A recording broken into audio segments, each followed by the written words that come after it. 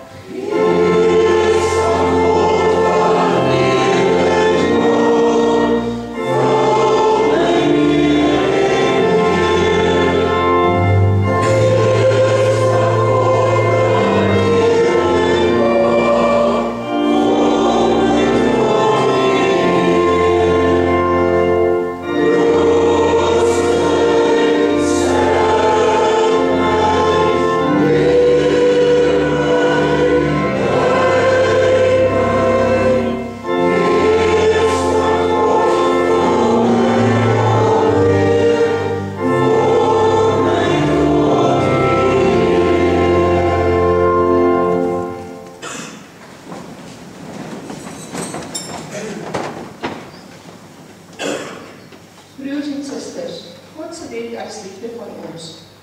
Kom, hoor som Jesus die wet vir ons in Matteus 22 vers 35 tot 40 op. En een van hulle, 'n wetgeleerde, het hom met 'n vraag gehoor vasgehou. Meneer, vra hom, wat is die grootste gebod in die wet?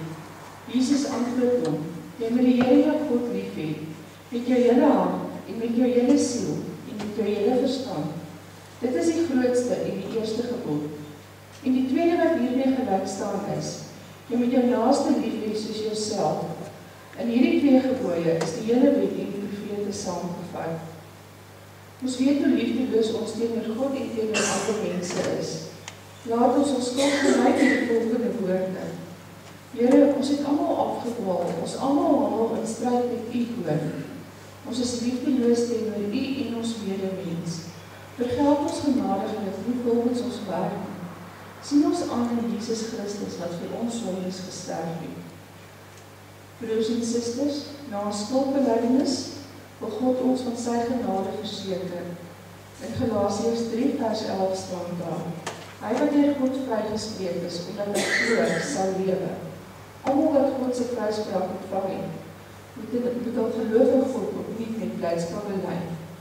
Kom ons bely ons geloof staande deur Psalm 324 strofes 1 tot 3 saam te sing.